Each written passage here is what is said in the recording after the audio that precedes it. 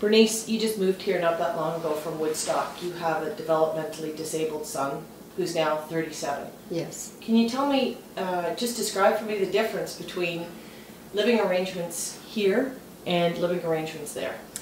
Well, um, our adult son, who was living and working in Woodstock, Ontario, uh, was living in a one-bedroom apartment, which was through social housing, and he was working four full days a week through ARC Industries, and he was receiving um, daily support, about an hour to two hours per day, which uh, consisted of assisting in laundry, meal prep, grocery, and banking.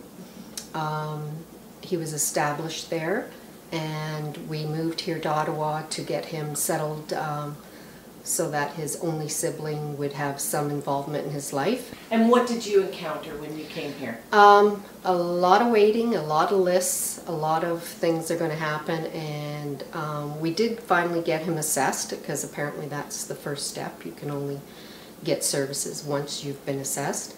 And apparently, uh, we have been, um, or Jason has been put in for all the services available, and we wait, and we still wait How long have you waited so far, um, since we moved here which was? in uh, 2012. You've been basically waiting now for three years. What's the expectation now as of today? more waiting.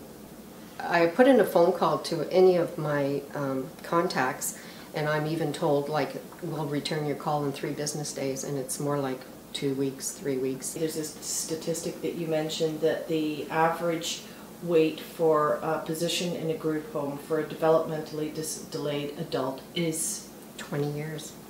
Now, Jason would go into uh, assisted living, Mhm. and we were told it's four to eight years, but I have a feeling it's probably eight or better.